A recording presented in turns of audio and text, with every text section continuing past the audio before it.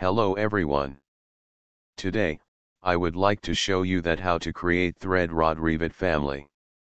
In this video, I will use and load in the created thread family which parameter controlled by lookup table. Before go to Revit, I would like to request to subscribe the channel and click the notification bell for the next video. Okay, let go to Revit. Open the new family. Select the generic model and open it. Go to Family Category and Parameter. Select Structure Connectors and click OK. This is the created thread Revit family. You can find and watch how to create this family in the channel. Insert and load this created family into main family. Align to the reference plane and lock it. Go to front view. Select the family. Assign the material parameter to material. Select instance and click OK. Assign nominal diameter to nominal diameter. Select instance and click OK. Assign lookup table name parameter to lookup table name. Select text for type and select other for group. Keep type and click OK. Go to family type. Add a new parameter for pitch. Select instance and click OK. Add a new parameter for minor diameter. Select instance and click OK.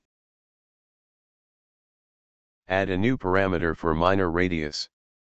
Select instance and click OK. Go to Manage Lookup Table. Import the CSV file. This CSV file is same as thread family CSV file. Add formula for minor diameter parameter.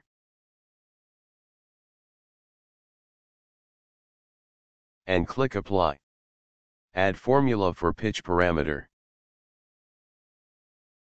Click Apply and OK. Select the existing reference plane.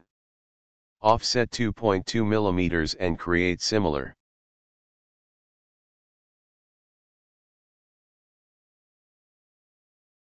Insert dimension.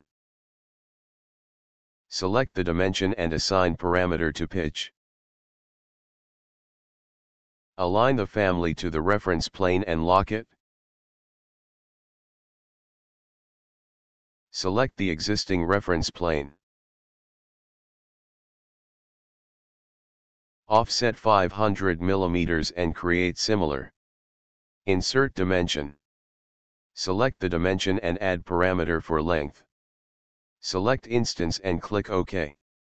Select the family. Array the family to upper reference plane. Align to the reference plane and lock it. Select the array family. Add a new parameter for number of thread. Select instance and click OK. Go to family type. Add formula for number of thread parameter. Formula is the length divided by pitch. Click apply and OK. There is exceeded thread number. Back to family type. Edit the number of thread formula. Deduct to number of thread. Click apply and OK. Check in 3D view.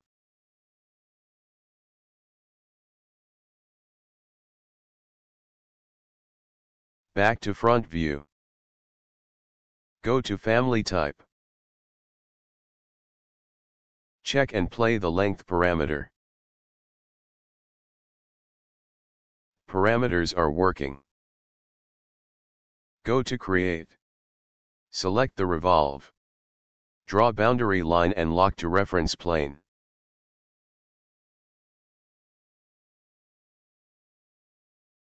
Insert dimension. Select the dimension and assign parameter to minor radius. Finish the revolve. Select the geometry. Assign the material parameter to material. Check in 3D view. Back to front view. Go to family type. Add formula for minor radius. Formula is diameter divided by 2.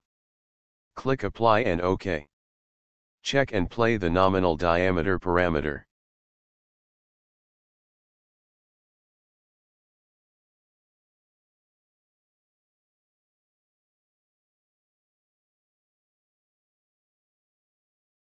Check and play the length parameter. Parameters are working. Check in 3D view.